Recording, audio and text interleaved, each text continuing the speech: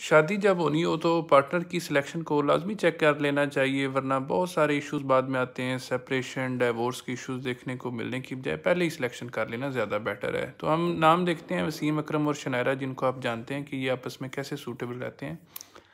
वसीम अकरम का जो नेम है, उसको नंबर्स ऐड करें तो पच्चीस बनता है और शनायरा के अगर सारे नंबर्स ऐड करें तो ये तेईस बनते हैं। और वसीम अकरम का सिंगल डिजिट सात है, शनायरा का पाँच है। अब नीचे मैंने ये लिस्ट में दिया हुआ है, साथ के साथ कौन से कंपेटेबल हैं। तो ये आपस में एक दूसरे के साथ सही बैठते हैं। अब बाकी नंबर्स चेक करना भी बड़ा लाजमी है। तो अब जो ये पैदा हुए हैं, तीन और उनका जो बर्थ नंबर है, वो शनारा का दो बनता है। तो तीन और दो भी आपस में मैचिंग है। तो यहाँ भी इनकी सूटेबिलिटी बैठ रही है।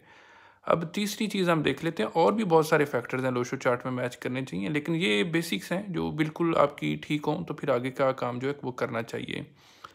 तो लाइफ पाथ जो है, वसीम अकरम का चार बनता है और शनायरा का देखें तो ये बनता है सात और चार और सात भी आपस में सही बैठ रहे हैं। तो इसका मतलब है कि इनकी कंपेटेबिलिटी जो है, वो बहुत अच्छी है। ये रिलेशनशिप बहुत लंबा अरसा चलेगा, खुशहाल चलेगा अच्छा रहेगा।